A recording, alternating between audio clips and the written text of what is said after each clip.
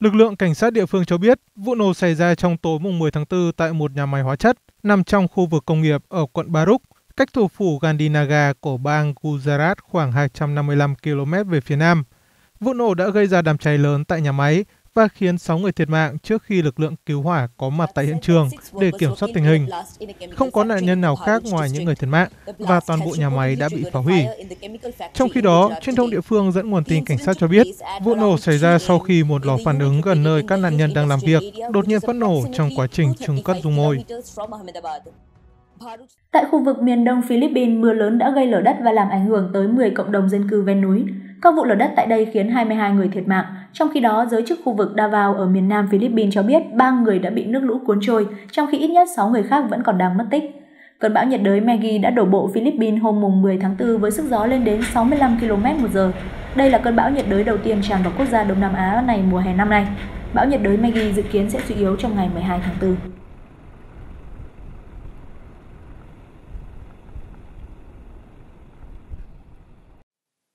Theo Ban Chiến lược Xã hội Ủy ban Khắc phục sự cố quốc gia thuộc Bộ Y tế và Phúc lợi Hàn Quốc, các cơ quan chức năng đang trong quá trình thu thập ý kiến nội bộ cũng như từ các chuyên gia để đánh giá toàn diện về vấn đề này.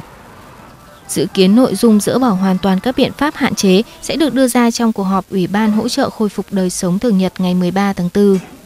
Hàn Quốc dự kiến sẽ công bố vào cuối tuần này một kế hoạch hậu đại dịch nhằm đưa cuộc sống của người dân và hệ thống y tế trở lại trạng thái bình thường.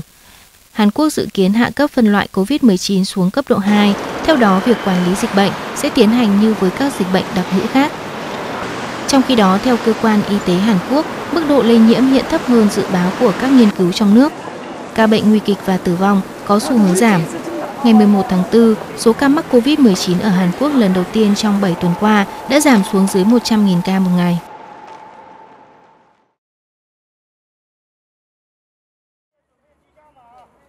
Toàn bộ 11 quận của Quảng Châu, thành phố lớn với dân số khoảng 19 triệu người, đã bắt đầu đợt xét nghiệm diện rộng từ tuần trước. Tính từ ngày 8 đến ngày 11 tháng 4, Quảng Châu ghi nhận tổng cộng 61 ca nhiễm cộng đồng trong đợt bùng phát mới nhất. Trong bối cảnh số ca nhiễm cộng đồng tăng nhanh, Quảng Châu đã nhanh chóng siết chặt các biện pháp kiểm soát dịch bệnh.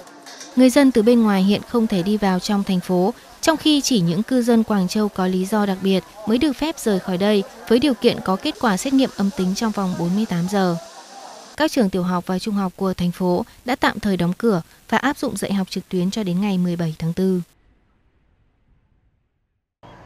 Trung Quốc hiện đang trải qua đợt bùng phát dịch COVID-19 tồi tệ nhất từ sau làn sóng dịch tại Vũ Hán đầu năm 2020. Đến nay, Thượng Hải vẫn đang là nơi dịch bệnh hoành hành dữ dội nhất với 26.087 ca nhiễm được ghi nhận trong ngày 11 tháng 4. Trong đó, chủ yếu là những trường hợp không có triệu chứng. Thành phố này hiện đã bước vào tuần lễ phong tỏa thứ ba một số phương tiện truyền thông Trung Quốc thừa nhận các biện pháp phòng chống dịch tại Thượng Hải không hoàn hảo. Tuy vậy, chính quyền Thượng Hải khẳng định vẫn đảm bảo nguồn cung nhu yếu phẩm thường nhật cho người dân. Tiến Trung, phóng viên Thông tấn xã Việt Nam thường trú tại Trung Quốc.